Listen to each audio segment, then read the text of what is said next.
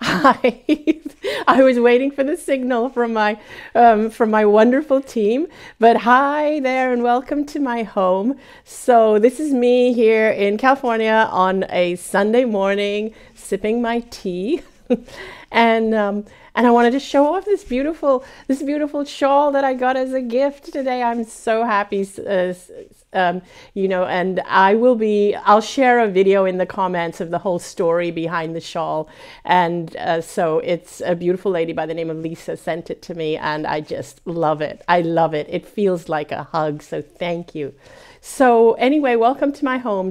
Uh, and I would love to hear from you. If you have any questions, please post them. I'll get to them a little bit later, though. I wanted to start by sharing a couple of things that I wanted to speak about.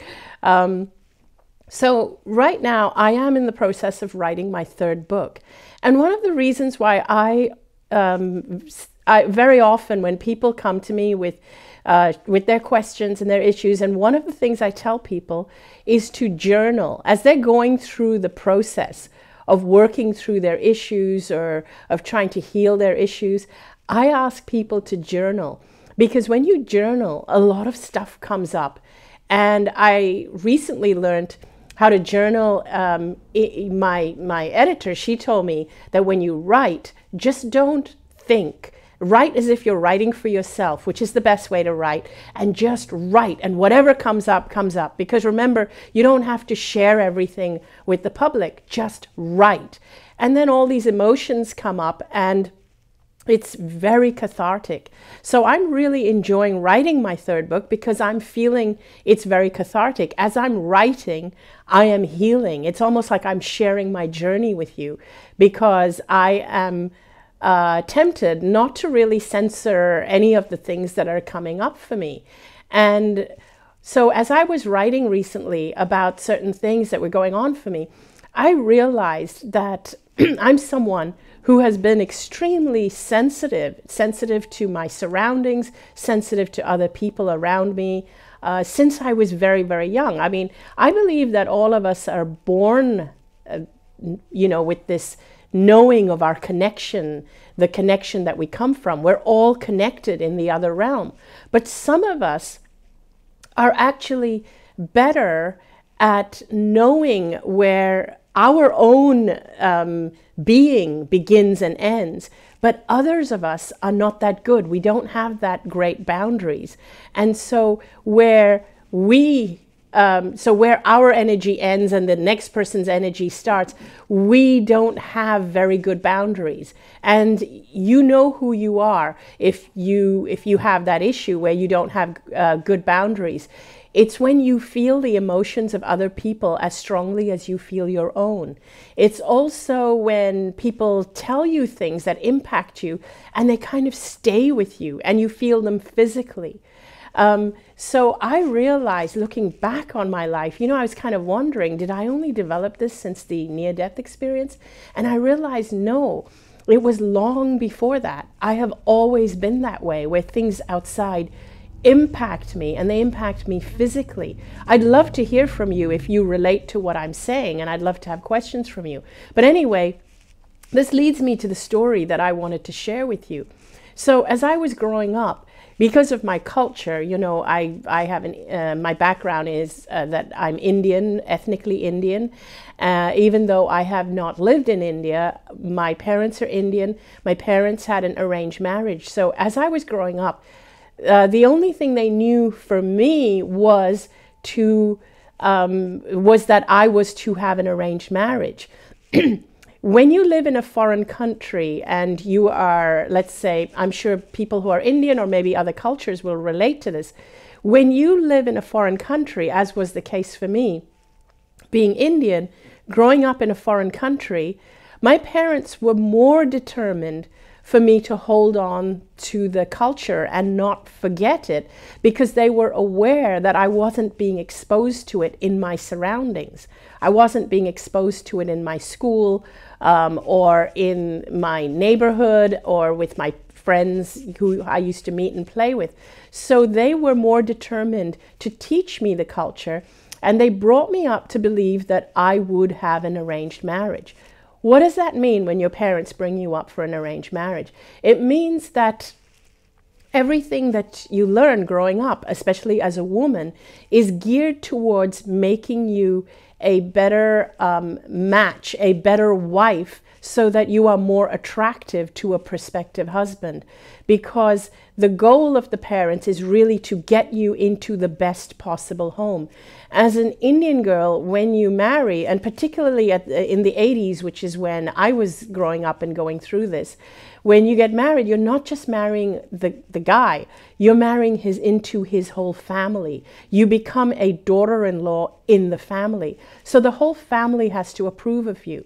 So as my parents were teaching me to be a good wife and a good daughter in law and a good homemaker and all these things that it takes um, at, at, least at that time, for me and my culture, to be a good wife and a good prospective uh, bride in an Indian family, as they were teaching me this.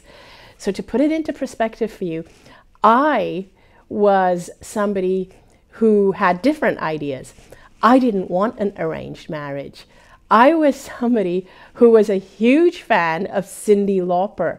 You remember her? She was the one that sang Girls Just Want to Have Fun.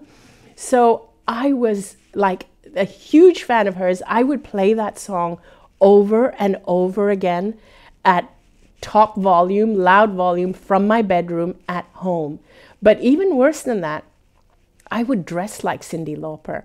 I would emulate her. I just loved her so much. And in those days, you used to be able to get these um, uh, hairsprays that were in different colors, you know, like neon colors, neon green, neon yellow, neon pink. And they were hairsprays, which you could wash out once you sprayed your hair. So I would spray my hair with these stripes down one side. And I had my hair cut pretty short, which is again something that goes against my culture. So my parents would freak out because if you can just imagine Cyndi Lauper Cyndi Lauper's parents trying to get her into an arranged marriage. That's what it was like for my poor parents. So, so I really feel sorry for them thinking back. So, anyway, one day they were so frazzled, they said to me that, they, that this Indian guru had flown into town. We lived in Hong Kong at that time. And they said this big Indian guru had flown into Hong Kong and um, and he was giving these speeches and lectures. And one of my dad's friends, who was involved in hosting and inviting this guru, he had agreed to give my dad and my family some private time with this guru. So my parents were thrilled, and they said, "We're taking you to see this guru." To ask him why it's so difficult to get you married, to get you into an arranged marriage. I mean, that sounds really funny now, doesn't it? When I look back, I laugh. So they took me to see this guru. And so there was, uh, you know, and everybody there at this event, they were wearing beautiful Indian clothes, very modest clothes. And I was in Western clothes I was in jeans and a colorful t shirt that kind of reflected my Cyndi Lauper personality, and I had my short, punky hair. And so I show up uh, like this kind of young, somewhat cocky. But even though I say this, remember, I was always an extremely sensitive person. So my parents bring me to this guru and actually say to him, our daughter is in her 20s and she's still not married. And we are having trouble getting her married. She's not agreeing to people. People are looking at her and feeling that she's not right for their family. We don't know what to do. So, this is my parents saying that to the guru right in front of me. And the guru looks at me, and the guru actually says that it's because I am spoilt it's because I have a big ego. And he rattles off like 10, 15, 20 things that are wrong with me. And, um, and I'm sitting here listening to this. And, and this guy is like a guru who attracts huge audiences. And I actually said to him something like, But what's wrong with expressing myself? What's wrong with just being who I am. I actually asked him that. I said, you know, honestly, until this moment, I didn't know that there was something wrong with me. And I'll tell you why I didn't know there was something wrong with me. Because everything I was doing was no different than my peers, the kids I had gone to school with, the young women who lived in my neighborhood, who went out to work or followed their dreams or followed their passion. In my culture, we were never encouraged to follow our dreams or follow our passion or, or to express ourselves or to be who we are. No, we were taught to be demure, subservient, and small. And now here was this guru saying the same thing.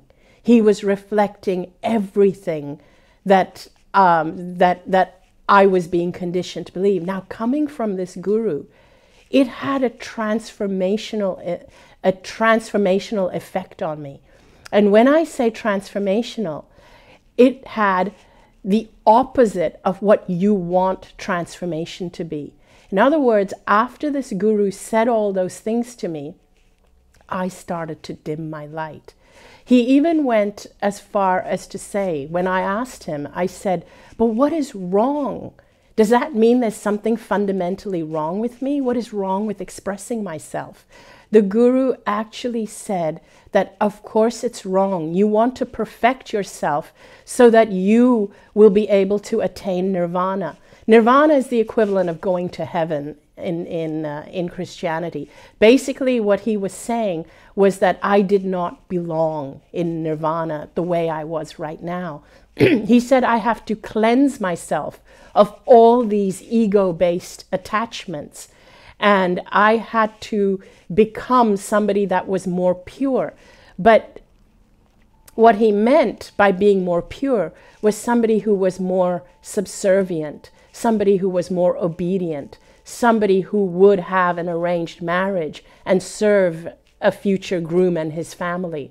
In my culture, uh, at that time, what I was brought up to be was somebody who would be subservient to the family. I was not allowed to work unless the groom's family allowed me to work. That's just how it was in my culture. I had to please the entire family. And men were always seen as more superior than women, and the women had to listen to the men in their family. It would be their dads, their brothers, and then their future husbands and their future in laws. So basically, after that encounter with the guru, after I went home, there started my journey because I was so scared about not reaching heaven or nirvana that I started to dim my light. That was when I started to make myself small.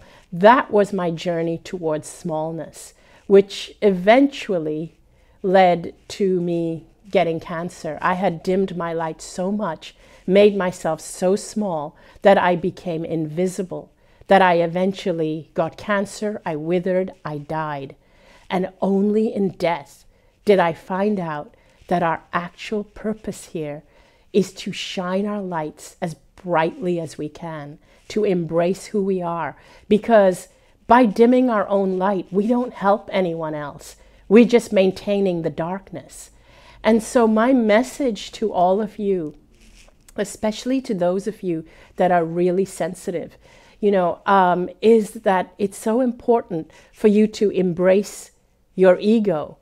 And the reason I say that is because um, many people confuse egocentric with the embracing the ego. It's but it's actually two different things. Being egocentric and embracing the ego, I want to repeat this, is actually two different things. The ego is actually a part of who you are. And I realized, you know, as I was growing up, that when I would then go and see even other spiritual teachers, spiritual gurus, they all, nearly all of them, would say that we have to squash the ego, we have to suppress the ego. This, all of this contributed to me making myself small, to squashing who I am, to dimming my light. But um, it was when I died, I realized that I had got it wrong, or maybe they had got it wrong, or maybe they weren't teaching it to us correctly being egocentric doesn't serve us and it doesn't serve the people around us. But embracing your ego is actually really good. So here's the thing I want you to know if you are somebody who is afraid of embracing your ego because you are afraid of your ego taking over. And to give you an example, just this week, a lady said, asked me a question. She said, I'm afraid to be myself because I can't tell when it is the ego or when it is the authentic me. Do any of you have that problem? That you can't tell whether it's your ego speaking or the authentic you speaking. So here's my key to you the fact that you are even concerned that it might be your ego, the fact that you are even afraid that you might be that that you don't want your ego to rear its head and you need to suppress it it actually means the opposite it means that you need to be you need to embrace your ego the fact that you are aware of your ego means you are a sensitive person you are someone that the world needs to hear from. You are someone that needs to embrace your ego. Because if you really were egocentric, you wouldn't even worry about your ego. You would be so self absorbed. So, egocentric means being self absorbed to the point that you are not aware of other people and the needs of other people. That's what egocentric is, and that is a problem. But many people who are sensitive are dimming their lights because they're so afraid of their ego. They're so afraid of embracing their ego, thinking it's egotistical, that you are not sharing your empathy with the world. You are not taking on leadership positions. And what I want to say is the world today needs you more than ever today what we're seeing on mass media, you know, in the media, in the news, everywhere, everything that's making headlines, everything that we're seeing, the stories we're seeing out in the world, everything, people who are in leadership positions, all of them, many of them, I won't say all, that's probably too much of a blanket statement, but many of them are lacking in empathy. They're lacking in sensitivity many of them. It's not about being politically correct, it's about being sensitive. It's about being politically sensitive. It's about feeling, it's about empathy. It's not a false political correctness. This is what we are missing today in leadership positions, in political positions. We're missing that in media. We're missing that. And the reason I believe, one of the reasons we're missing it, is because all the empaths out there, all the sensitive people out there are hiding. And they're hiding because they're afraid of what's going on out there. They don't want to absorb all that energy, and so they hide. And secondly, because when we are taught to suppress our ego, even if you are a sensitive, empathetic person, you are going to suppress your ego and you're not going to take on leadership positions. So I want you, as an empathetic, sensitive person, to share your light, shine your light in the world, embrace leadership positions, the world needs you now. The world needs you now. And if you are someone who's concerned about the ego, it already means you are not egocentric, okay? So I hope that message was fairly clear. Uh, and it doesn't mean there are not egocentric people out there. There are, but currently their voices are the loudest. We need the empathetic people to embrace their egos and start shining their light and sharing it with the world and being who you are. Be who you are. So let's go on to questions. And uh, the beautiful Milena is with me again. This is the first time I've seen her in two months because I've been traveling, then I got sick. So you're going to hear beautiful Milena's voice.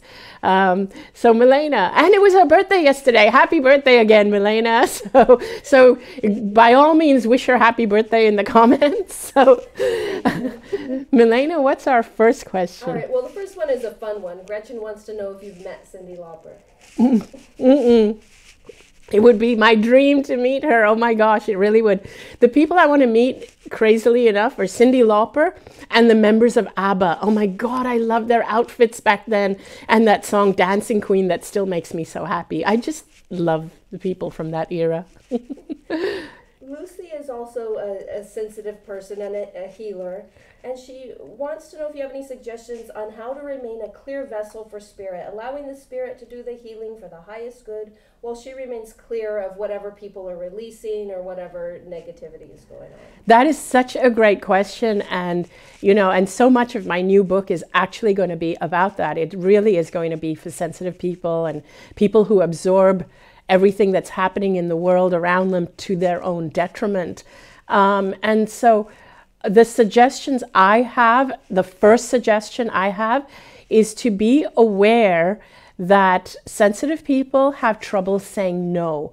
And one of the reasons they have trouble saying no is because they have trouble with boundaries, because to them, what other people want seems bigger um, than what they want. In other words, the needs of other people seem more and bigger or as important to us as our own needs. We can't seem to differentiate.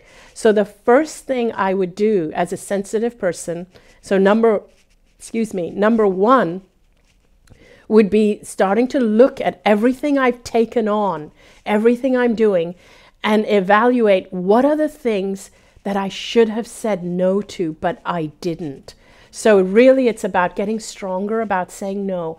And a lot of sensitive people in their heads, they think saying no means being mean, being bitchy. No, it absolutely isn't. In fact, saying yes to things you don't want to do is being mean to yourself. You can say no in the nicest possible way. There are many ways to say no, like let me have a think about it, or let me get back to you, or let me check with my in my schedule. Um, or you can even say, you know, could you check in with my assistant? She knows my schedule more than I do. And, you know, there's all kinds of nice ways to say no. Uh, and saying yes to something out of obligation is actually not being honest with them and it's not being honest with yourself. So, so number one would be where will I say no? Where have I been saying yes where I should say no? Number two is check your receiving channels. The other thing that empaths and sensitive people do is we're very, very good at giving and giving of ourselves to the point of getting drained, but we're not good at receiving. So I would check that. Check your receiving channels and force yourself or allow yourself to receive something good every single day, whether it's coming from someone else or whether it's coming from yourself. So remember, receive something good every single day. The third thing I would do is journal, write, get it out of your system. You will find out so much from the words that you write. And these are really important. And thank you for that question. That's such a great question. I'm not sure if I'm pronouncing this name correctly, so I apologize if I'm not. Um, Shyam asks, uh, What do you think about black magic and souls which are slightly on the negative side? Do you have an opinion about what's going on with them or what, what they've been through? So, just an opinion, and so I, I'm not an authority on this, so I'm just sharing an opinion. I think that all of us, um, we have access to our inner mystic. Particularly, I believe empaths, sensitive people have access to it. But there are some people who, um, because maybe because of negative experiences in their life, I mean, I I would be careful if I knew someone who was taking revenge on people and felt they had power. Uh, I would be wary of them and, and be careful of them. Uh, I don't think it's a positive thing. I don't think they are connected in the in the most ethical or right way. But there are possibly people like that. And if you believe somebody is like that then if you are someone close to them a parent or somebody close to them i would really encourage them to seek help and to seek love and to take a more loving path in whatever way you can. Maybe they are just crying for help or calling for help. They need to know that they are they do have access to some a beautiful energy but that it's more powerful when used for good rather than bad and this is what people need to do to know that it's much more effective for the world and much more powerful when used for the good of humankind and not for bad or negative. Muna asks how do I show my gratitude to the universe to God um, everything changed since they've been focusing on, on being grateful. My life is love and action. My life is a miracle. Well, how do I show my gratitude? You are by being love in action. So when you feel love for the universe or for God, um, first of all, that is amazing. That means you feel love for yourself. The way to show gratitude is by paying it forward to other human beings because the, the only answer or the, the solution to every problem in the world is love. That's my that's what I live by. I won't even say that's my belief. That's my truth. That's what I uh, what what I aim to always live by. And if I feel gratitude to God, the universe, to anything, I will show that by showing love to the people around me, to the people I touch every day. If you really want to, if you really feel this excessive flow of love, like, oh my God, I feel so much love for God, you know, share it by going to people who have less than you, who are less fortunate than you. Share it by uh, giving stuff to homeless people, people who are needy, and show them love, not just by giving them gifts. But by sharing your love, cook them something, give them a hug, give them warm socks in the winter. So share your love with the world. The world could use it, really could use it. And the, when the world embraces you, blesses you, thank you for that, Mona. Want to do one more question? Okay, one last question. Caroline asks Will you cover receiving practices in your new book? Will I cover? Yes, absolutely. I will absolutely cover those receiving practices.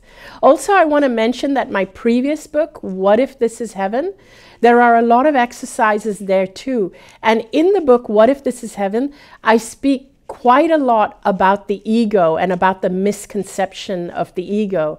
And I speak about how ego only gets in the way when we lack awareness. As long as your awareness is high, you don't have, and when I say awareness, it means awareness of love, loving yourself, loving others, awareness of the needs of others. As long as that is high, the higher that is, the more you need your ego so that you can create your own boundaries.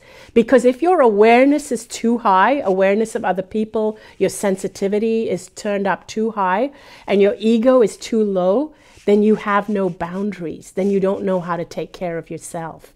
So uh, I do speak about that the awareness and the ego balance in my other book and how the ego has been misunderstood and people with high awareness have no boundaries when they have no ego. Um, but anyway, uh, I will have a lot of new tips in the new book, but that's not slated to come out till next year. I'm having a lot of fun writing it, and that's why I encourage people to journal and to write. And um, so, in the meantime, please give me your comments in uh, in on Facebook. Please send me an email through my newsletter. Send me questions for other Facebook lives, and uh, and connect with me on uh, check out my newsletter my website. And i look forward to seeing you all next week. I'm going to commit to doing another one next sunday. I'll see you all at my home right here next sunday over morning tea and let me know where in the world you are and what time it is for you. I'm always curious to know that. Love you guys. See you all next week.